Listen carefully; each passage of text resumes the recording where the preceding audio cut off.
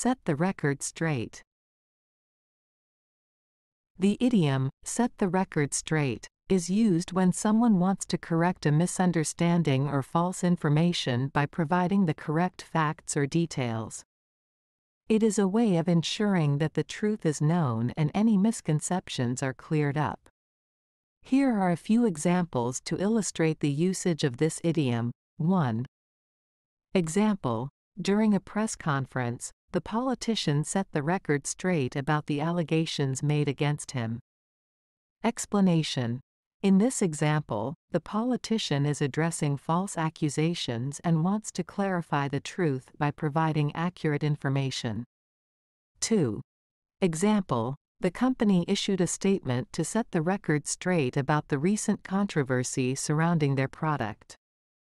Explanation here, the company is making an effort to correct any misleading information or rumors that have been circulating about their product. 3. Example, the author wrote a book to set the record straight about her life and dispel any misconceptions. Explanation In this case, the author wants to ensure that the readers have accurate information about her life and experiences, thus correcting any false assumptions or misunderstandings.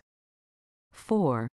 Example, the professor called a meeting with the students to set the record straight about the grading criteria for the final exam. Explanation The professor wants to clarify any confusion or misinterpretation regarding the grading criteria for the final exam, ensuring that the students have a clear understanding of what is expected. 5. Example, the athlete gave an interview to set the record straight about the doping allegations made against him. Explanation The athlete wants to address the doping allegations and provide the correct information to counter any false claims or assumptions. In all these examples, the idiom, set the record straight, is used to emphasize the act of correcting false information or misunderstandings by providing accurate facts or details.